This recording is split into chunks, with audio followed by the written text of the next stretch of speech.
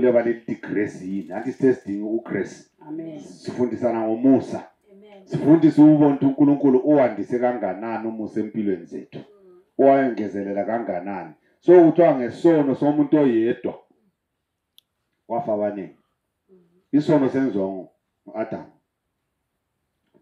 sabuya sangena saye sazofika lakithi kodwa senziwe ngumuntu oyi-one. But unkulunkulu ngokusithanda ngoba yena ulomusa wasihawukela wathumela indodana yakhe ezele yodwa ukuthi kuyizosifeyila isono zona siyakho Amen. khona kuyana okwenziwa ngu-adamu kwabuya kwaze kwazofika isikhathi sokuthi kuzala ujesu. That's why libona emuva le unkulunkulu bebulala abantu ngamanzi. Abanye betshiswa ngomlilo angithi so thina kusamelanga sitshiswe ngenxa yokuthi sembesweni igazi likajesu kristu. So kuthiwa ngumusa esiwenzelwe ngunkulunkulu. Siya- u- ujesu uzosihlambulula esoneni esadalwa ngu-adamu kuthiwa isono esenziwa ngumuntu oyedwa sabulalisa abantu abaningi. Umusa owenziwe ngumuntu oyi-one ususilisa abantu abaningi. We are saved by his grace. Angithi umusa kajesu kristu ususikhipha esonweni. Esonweni esadalwa ngu-adamu eyedwa saba ngesomhlaba wonke. So lapha sithe asifundeni ukuthi umusa esiwenzelwa ngunkulunkulu. Uqakatheke kanganani kithi? U- konke asenzela khona kuyasihlambulula yini? Kumbe kusihlalisa si- sitshonile phakathi kwesono?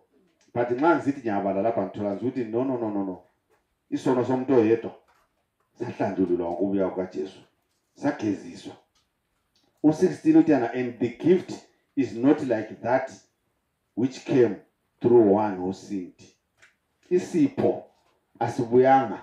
Njengesono eseza ngomuntu oyedwa. Isipho sona sibuye ngenye indlela. Isipho sibuye ngani? Ngomusa.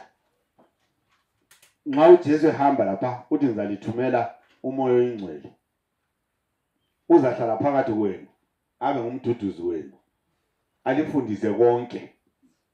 Okunjengokuthi u-eva wabuye wahlala lo-adamu engazange afundiswe lutho that's why waqalisa ukubuza u-adamu ukuthi kanti lokhwana kuthiwe singakuhle kanti laphana kuthiwe singayikhona? Ngenxa ukuthi yena wayengasangafundiswa. Thina ujesu wathi ukuthi kungasihluphi ngaleyo ndlela uzasithumela umoya oyingcwele. Nguyozabe uyahlale phakathi kwethu abe nguyosifundisa konke. Asoze sibuye sidinge lutho. For the judgment which came from one offense resulted in condemnation. But the free gift which came, came from many offenses resulted in justification. Awubalo 16 futhi isipho kasinjengoyedwa owonayo ngoba isigwebo sasingesisodwa ngasekulahlweni kodwa isipho somusa ngeseziphambeko eziningi ngasekulungisisweni. Haleluya amen. Kuthiwa noma uzuyenza isiphambeko esinjani? Unkulunkulu uthi ngizazihlambulula izono zakho zibe mhlophe njengeliqhwa haleluya zingaze zibe ziningi kanganani lesani sika-adamu samenza wathathela ubukhosi ayebuphiwe ensimini yase-edeni amen. Wenziwa umuntu olesono kwathi akaselawo amandla phezu kwento zonke zozana eziphiwe. Wakhitshelwa ngaphandle. Amen. Haleluya but thina ujesu wabuye wazosihawukela wathi lina ngizalihawukela ngizalikhulumela ngizalifela.